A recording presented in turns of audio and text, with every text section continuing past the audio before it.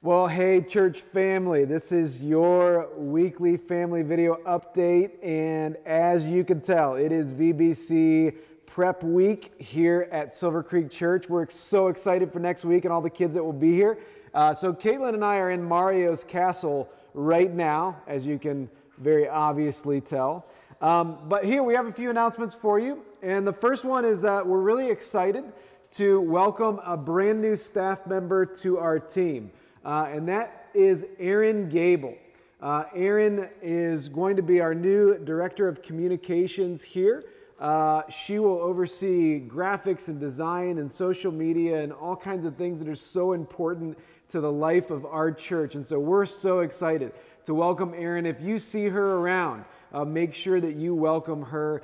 Her and her husband, Craig, and their kids have been coming here for the last year. So excited to have Erin here. All right. Thanks, Todd.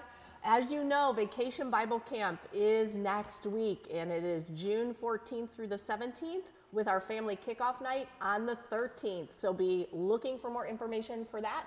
If you haven't registered yet, please do so. You can go straight to our website. The link is there. Invite a neighbor, uh, invite someone, uh, a friend from your sports team. Uh, we welcome everyone. This is a really great opportunity for us to reach our community. So we're excited to get started. Uh, we are transforming the building this week and when you come in this weekend, it will look amazing. So we're getting really, really excited. Awesome. Last thing is a little less than two weeks away is Father's Day.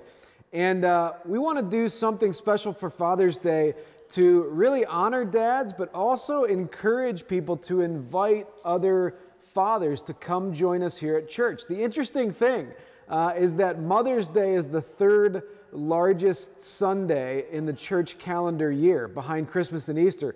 Father's Day, not so much. And so, what we want to do is encourage dads, uh, maybe dads in your neighborhood, to come. So, we're going to actually have uh, two things that I think will be appealing to most fathers. We're going to have bacon, and we're going to have a ton of bacon. It's going to be fried outside, you're going to smell it, it's going to be amazing. And we're also going to have axe throwing.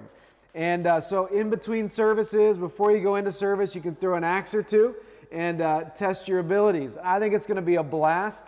And we want to encourage you to invite other dads, other families to this, uh, to the Sunday, uh, June 19th for Father's Day. All right? That's what we have for you today. And enjoy your week and look forward to VBC next week.